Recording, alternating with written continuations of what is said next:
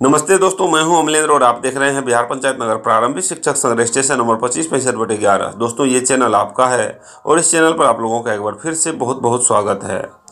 एक समान होगी नियुक्ति व योगदान की तिथि।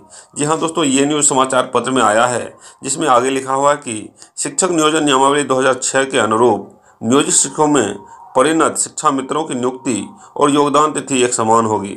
सरकार की ओर से शिक्षा मित्रों को 1 जुलाई 2006 को नियोजित शिक्षक घोषित किया गया था। सरकारी गाइडलाइन के अनुसार 1 जुलाई 2006 ही उनकी नियुक्ति तिथि है और उसी दिन से उसका योगदान भी माना जाएगा।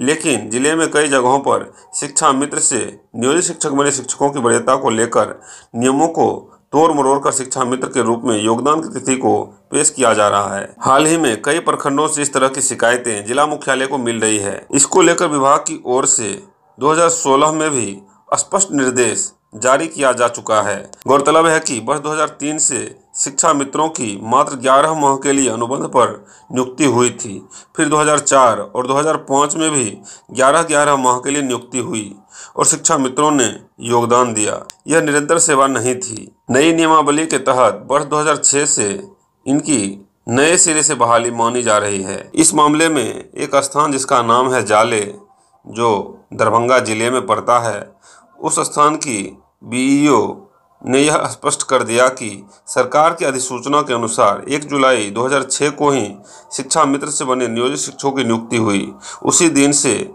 उनका योगदान घोषित हुआ। ऐसे में शिक्षा मित्र के रूप में तैनात सभी नियोजित शिक्षकों की नियुक्ति और योगदान की तिथि एक समान मानी जाएगी।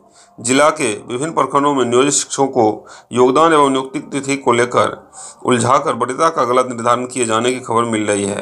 तो दोस्तों, आपने देख लिया कि शिक्षक नियोजन नियमावली 2006 के अनुरूप नियोजित शिक्षकों में परिणत शिक्षा मित्रों की नियुक्ति और योगदान की तिथि एक समान होगी।